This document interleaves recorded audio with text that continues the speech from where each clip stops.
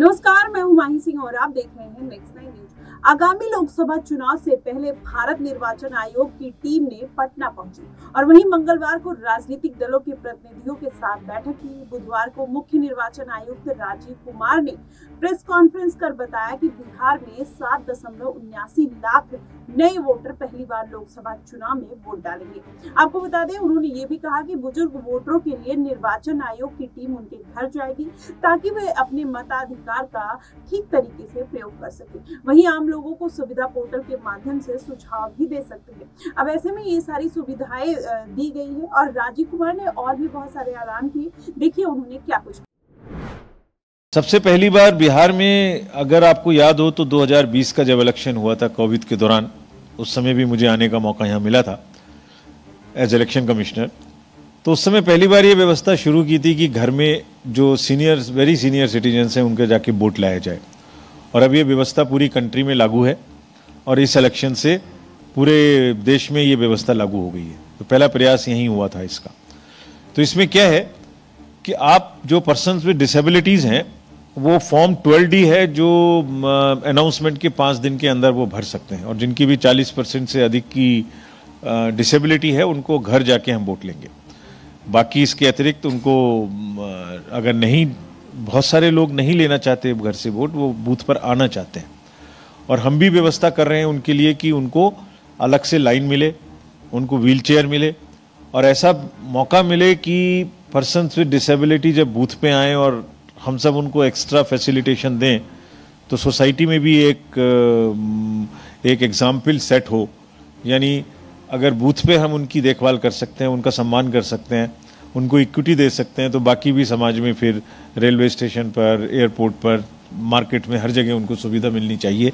ऐसा एक प्रयास हमारा है कि ये चीज़ हम इस्टेब्लिश करें। सिमिलरली बुज़ुर्गों के लिए भी हमारे जो ओल्ड एज ओल्ड एज के जितने भी वोटर्स हैं, जो हमारे लिस्ट में शामिल हैं, उनको भी हम घर जाकर वोटिंग की सुविधा प्रदान करेंगे। और जब वोटिंग होगी तो साथ में एक टीम जाएगी, जो वीडियोग्राफी भी करेगी और पोलिंग कैंडिडेट को भी इजाज़त है कि वो साथ में अपने लोगों को भेज सकते हैं। लास्ट माइल तक भी हम लोग पहुँचेंगे। ये जस्ट कुछ ग्लिम्सेस हैं। यानी जहाँ भी बूथ्स हैं चाहे दियारा में जाना हो, चाहे बोट से जाना हो, कोई भी वोटर छुटे ना, ये हमारा प्रयास रहेगा। और आपके माध्यम से हम ये सबसे गुजारिश करेंगे, अपील करेंगे रिक्वेस्ट करेंगे कि वो वोट देने ज़रूर आए। जब हम इतनी व्यवस्था करने की कोशिश कर रहे हैं तो कोई भी छूटना नहीं चाहिए। अब एक अपेक्षा भी है कि हम पूरे इलेक्शंस को बिल्कुल इंड्यूसमेंट फ्री मनी पावर से दूर रखें, किसी भी प्रकार की क्लटरिंग और किसी भी प्रकार के गलत चीज़ें ना होने पाए। तो एक एप्लीकेशन है जिसको आपके सहयोग से हम सबके साथ तक पहुंचाना चाहते हैं। इसका नाम है सी विजिल, यानी विजिलेंट सिटीजन। अगर आप जागरूक हैं तो आप कोई भी शिकायत है किसी भी बूथ के बारे में, किसी पार्टी के बारे में, किसी कैंडिडेट के बारे में तो अगर आप उसकी कोई टेक्स्ट लिख के, या कोई गलती हो रही है तो फ़ोटो खींच के, या आप अगर हमारे, हमें भेज देंगे इस ऐप पर तो आपका जो कहाँ लोकेशन है, ये हम अपने से ले लेंगे। लॉन्गिट्यूड लेटीट्यूड आपका हम अपने से ले लेंगे। और जो भी नियर बाई हमारी वो होगी वैन एसएसटी होगी, कोई एफएसटी होगी, कोई सेक्टर मजिस्ट्रेट होंगे, दो किलोमीटर में तो कहीं ना कहीं होंगे।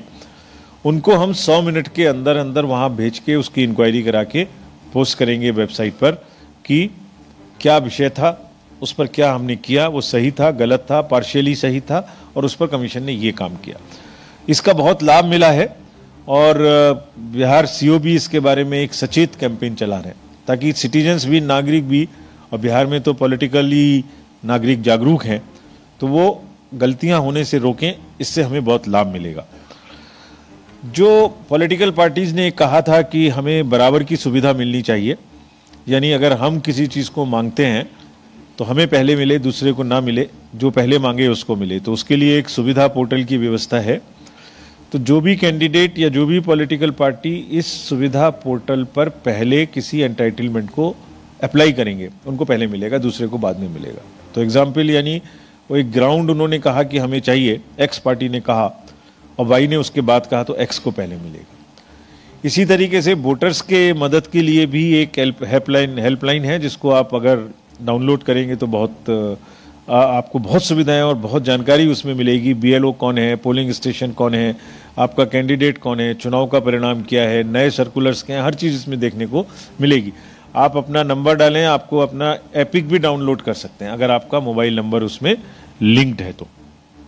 फ्रेंड्स एक और बहुत इंपॉर्टेंट जानकारी है, वो है नो योर कैंडिडेट के आप किसको वोट देने जा रहे हैं, उसको जानने की राइट पब्लिक का है। You have a choice so that you take an inform decision तो केवाईसी में क्या आपको जानने को मिलेगा कि किसी भी कैंडिडेट की कोई क्रिमिनल बैकग्राउंड तो नहीं है? अगर किसी कैंडिडेट की क्रिमिनल बैकग्राउंड है तो इस पर आपको मिलेगी। साथ ही साथ प्रत्येक ऐसे कैंडिडेट को जिसकी क्रिमिनल बैकग्राउंड है, उसको तीन बार न्यूज़पेपर्स में ऐड देना पड़ेगा कि उनकी क्या क्रिमिनल बैकग्राउंड है। और टीवी में भी देना पड़ेगा। और इस वेबसाइट पर, इस जगह पर भी आपको ये जानकारी मिलेगी तो ये आप इन्फॉर्म वोटर के रूप में इस जानकारी को प्राप्त करें और अपना बिल्कुल मन बनाएँ कि किसको आपको वोट देना है। जानना आप आप तक सुविधा और जानकारी पहुंचाना हमारा काम है। उसके बाद आप क्या करना चाहते हैं, ये आपके वोटर का कार्य है। अगर इलेक्ट्रल पार्टिसिपेशन कैसे बढ़े, आपको ये बहुत अच्छी फिगर नहीं है। बिहार में जो जनरल इलेक्शन में वोटर पार्टिसिपेशन था, वो 57.33 परसेंट था। ये नेशनल एवरेज 67 परसेंट से 10 परसेंटेज पॉइंट कम था। और ये भी एक आयरनी है कि इतनी जागृत स्टेट में ये सेकंड लोएस्ट था पूरी कंट्री में। J and K was lowest at 45 percent Bihar was 57 percent so हमारी अपेक्षा है इस बार प्रयास से बहुत कि हम यहाँ वोटर की परसेंटेज को वोटिंग की परसेंटेज को बढ़ाएँ। तो कैसे बढ़ाएँगे? हमने ऐसी 75 परसेंट टोटल अर्बन एसीज ऐसी हैं जिसमें वोटर टर्नआउट बहुत लो है। Patna Sahib one of the main places है जिसमें बहुत कम है। इकतीस एसीज ऐसी हैं जो नाइन डिस्ट्रिक्ट की जो आइडेंटिफाई की गई हैं। तो कहने का मतलब है कि हमने एक प्रोग्राम बनाया है टारगेटेड इंटरवेंशन प्लान जिसमें हम बूथ तक गए हैं। कि कौन सी कॉन्स्टिट्युएंसी स्टेट एवरेज से नीचे है और उस कॉन्स्टिट्युएंसी के कौन कौन से बूथ स्टेट एवरेज से या डिस्ट्रिक्ट एवरेज से नीचे हैं। यानी एक जैसी चीज़ सारे डिस्ट्रिक्ट में चले, ये नहीं है। जगह जगह में क्या परेशानी है, क्यों लोग नहीं आ रहे हैं, इसके लिए एक बहुत सघन प्रयास किया गया है और मुझे उम्मीद है कि जो इलेक्ट्रल रोल्स की प्योरिटी बढ़ी है, जिन लोगों को नहीं रहना चाहिए था, जो हटे हैं और जितने नए लोग जुड़े हैं, जिसमें से यंग लोग जुड़े हैं तो ये वोटिंग परसेंटेज निश्चित रूप से बढ़नी चाहिए। और पुनः आपके माध्यम से दोबारा अनुरोध करना चाहता हूँ कि सब लोग वोट देने के लिए ज़रूर ज़रूर आए।